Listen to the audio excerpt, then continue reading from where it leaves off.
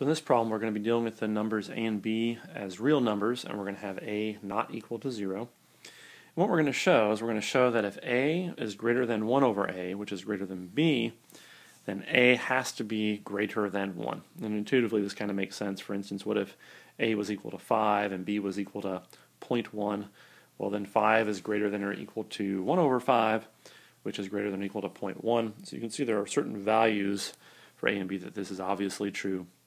But we're going to show that a always has to be equal, or I'm sorry, greater than 1 for this to be true. First thing we're going to do is we're going to show that a is greater than 0. And sometimes showing variables are greater than 0 or less than or 0 is useful when you're working with inequalities because when you're working with inequalities, when you multiply, you need to know how to handle the inequality. If you multiply both sides of an inequality by a positive number, you don't do anything to the less than or equal than sign.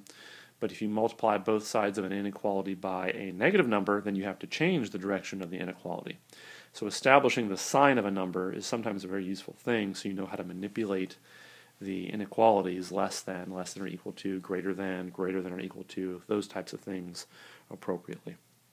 So what we're going to do is we're going to do this via contradiction. We are going to assume that a is actually less than 0. Okay, well if a is less than 0, that means b has to be less than 0 because one of our original assumptions was that b was less than a. If we look back up here, we have b. If you read it right to left, we have b less than a. So if we assume a is less than 0, that means b is less than 0 by our original assumption. So both a and b are negative.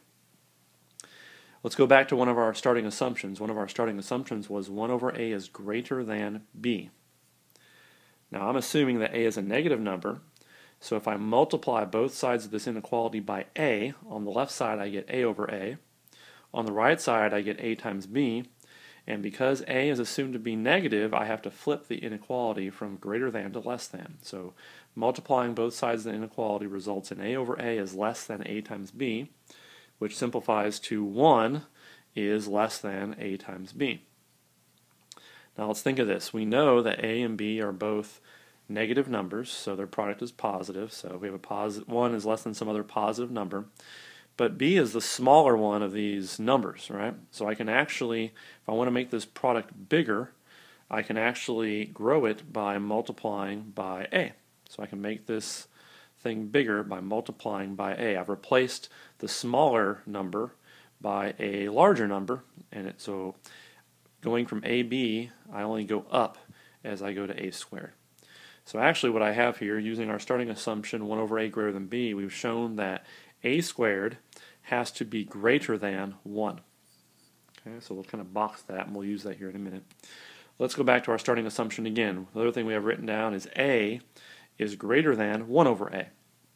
So again, if I multiply both sides by A, I'm assuming still that a is less than 0, so I have a squared less than 1 because I have to change the side of the inequality. And now here's where I run into a problem because I have a squared less than 1, a squared greater than 1. And it can't be both of these things. You can't be less than and greater than the same thing. So we've encountered a contradiction. When we assumed a was less than 0, we ran into some math that didn't make any sense. So our a less than 0 assumption is wrong so that means a has to be greater than or equal to 0. If you're not less than 0, you have to be greater than or equal to 0. But remember one of our starting assumptions. We said a is not 0, so actually what we have now is a is greater than 0. So we've established the fact that a is a positive number. So we're almost there now. Now that we know that a is a positive number, we can return to our starting assumption, a greater than 1 over a. We multiply both sides by a, we get a squared greater than 1. a is a positive number, so I don't change the sign of the inequality. a squared is greater than 1, which I can rearrange to a squared minus 1 is greater than 0. I just move the 1 to the left side. And I can actually factor that as a plus 1 quantity times a minus 1 quantity. Right? That's a squared minus 1 greater than 0. So I can actually write this inequality as this product of these two terms. Let's think about these two terms. I need their product to be greater than 0. So I need a plus 1 times a minus 1 to be greater than 0. One way that can happen is if both of these terms are positive. A positive term times a positive term gives me a positive product. The other way that this can happen is if both of them are negative. A negative term times a negative term gives me a positive product. So I kind of think of those as cases 1 and cases 2. Let's look at case 1 to start. In case 1, I need both of these to be positive. I need a plus 1 to be positive. I need a minus 1 to be positive. If I simplify these by moving the 1's to the other side, this means that I need a greater than negative 1 and I need a greater than 1. So you combine these two inequalities, that says that a has to be greater than 1. So we can save that piece of information. So a has to be greater than 1. And then in case 2, if we look at this, we see that this can't happen actually. Case 2 isn't going to happen because this would require a plus 1 to be a negative quantity and a minus 1 to be a negative quantity. So it would require a plus 1 to be less than 0. But this can never happen because we've already established that a is greater than 0. a is always positive. So 1 plus a positive number is never going to be less than 0. So the case 2 can never happen. a is always greater than 0. So Following this path, using this assumption that a is greater than 1 over a, we've deduced that we must have a greater than 1, and that is what we're trying to prove. Our starting assumptions have led us to the fact that a must be greater than 1.